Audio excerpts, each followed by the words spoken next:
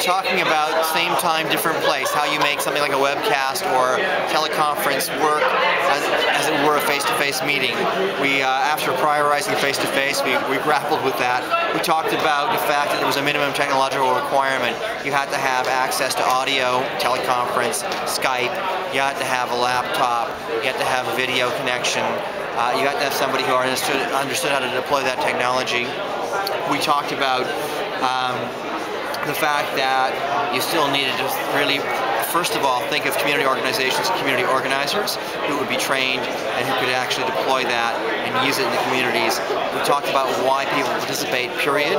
The issue is local, it's relevant, it's understandable, it's something they care about in some fashion.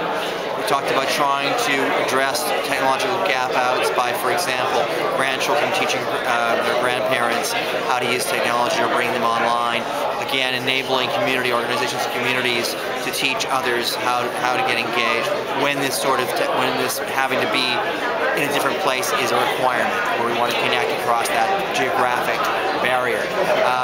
we also spoke about the fact that in the toolkit we need to like rank the prior the, uh, the importance of different technologies like WebEx or online meeting tools, what would be required to use them.